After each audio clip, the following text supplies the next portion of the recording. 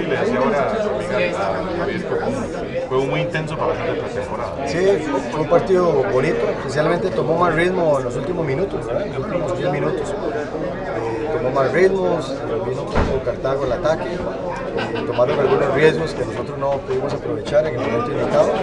Y bueno, que a todas luces se dio un empate bonito, intenso.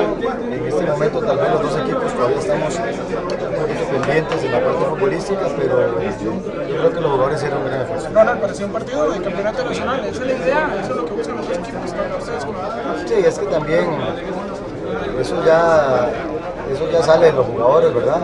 El estadio, nos hizo un buen clima por dicha, eh, la intensidad del, del juego da que los jugadores tengan que correr, que sea un ida y vuelta. Y por más torneo amistoso que sea, siempre cuando se salta, se salta al campo, los jugadores quieren, todos queremos ganar, así que eso lo hizo intenso y lo hizo muy atractivo para la gente. La decisión a Guatemala, ya está todo eso definido hoy, influyó algo también para salir. Bueno, eh, lo que estábamos esperando hoy era eh, si alguien tenía algún problema, que gracias a Dios nadie ha tenido ningún problema en este momento.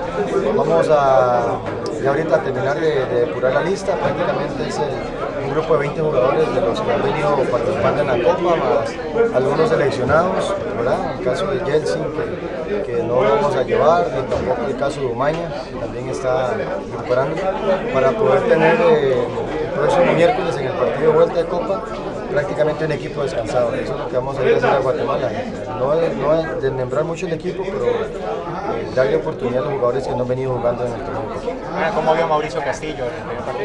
Bueno, todavía le falta, ¿verdad? Viene, viene bajándose del avión, como decimos, eh, entró de cambio, hay que verlo en un partido de, de- de entrada, entró en un momento en el cual se puso muy rápido el partido, no, tal vez le, tocó, le faltó un poquito más de, pro- de protagonismo con pelota, pero indudablemente la calidad la tiene, ya ahorita él va a estar, va a estar ya a punto para poder.